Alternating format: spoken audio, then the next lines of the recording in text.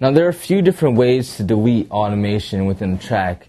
When you delete automation, you can really just go into wherever the automation is and really just highlight it and delete it. But sometimes you might actually catch automation that you can't really see and you might not know is there. So one way to definitely be sure is definitely delete the waveform. When you delete the waveform, it's going to take the automation with it.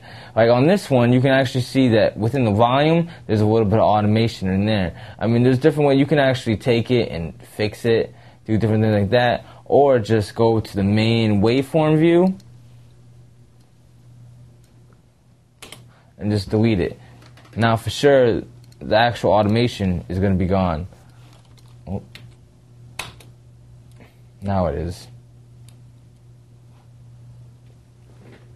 Now, when you um are using automation for different things, you might be able to take a, tr- a part of a track and duplicate it, when you duplicate it, it's automatically going to bring the automation with it. So if you don't want the automation, you might want to be able to like go back to the original track and just delete it to whatever it is. If there's a volume issue and things like that, you want to actually go to that part, turn on the track view to the volume, and erase it.